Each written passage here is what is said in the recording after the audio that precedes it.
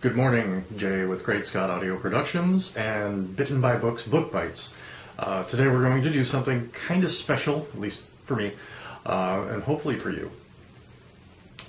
Terry Brooks has been writing for years and years and years. Uh, first book came out in 1977, The Sword of Shannara.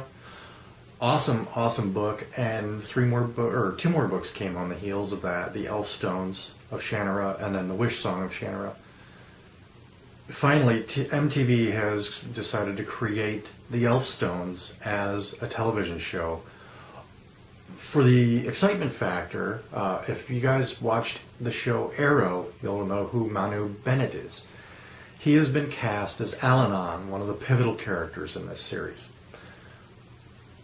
I'm going to go ahead and read from the Elfstones today, not chapter one, a little bit further in, where we get to meet Allanon for the first time in 50 years it's a powerful scene. The book itself is extraordinarily action packed. It is straight high fantasy, swords and sorcery. For those of you who aren't familiar with the series, if you are familiar with the series, well, come back with me to the Four Lands and let's go see Allanon.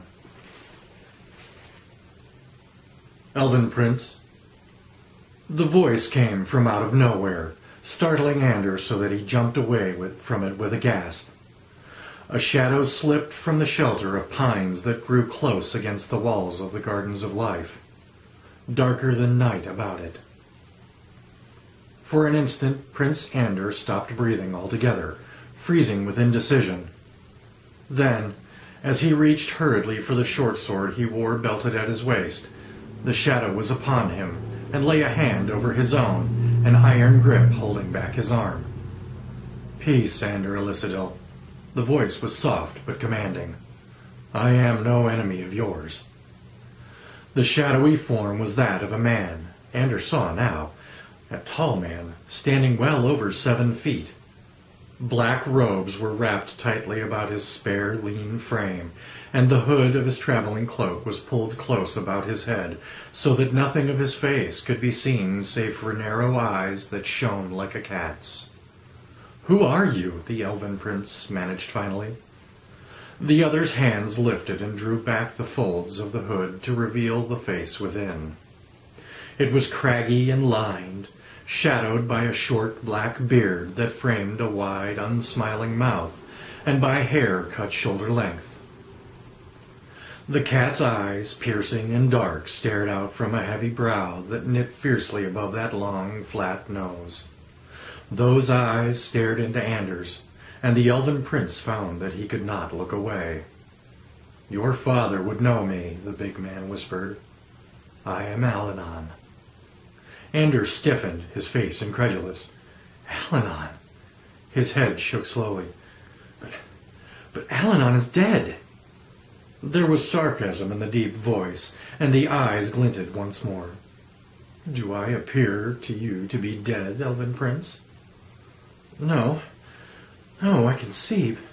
Anders' voice faltered. But it has been more than fifty years. He trailed off as the memories of his father's stories came back to him. The search for the sword of Shannara, the rescue of Eventine from the camp of enemy of the enemy armies, the battle at Tyrsis, the defeat of the warlock lord at the hands of the little valeman Shea Ohmsford. Through it all, Allanon had been there, lending to the beleaguered people of the Four Lands his strength and wisdom.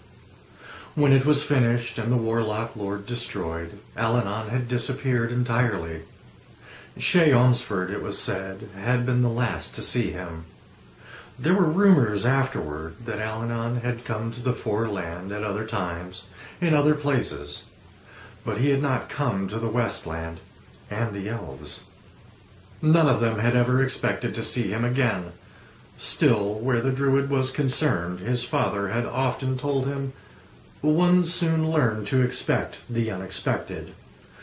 Wanderer, historian, philosopher, and mystic, guardian of the races, the last of the ancient Druids, the wise men of the New World. Allanon was said to have been all of these. But was this truly Allanon?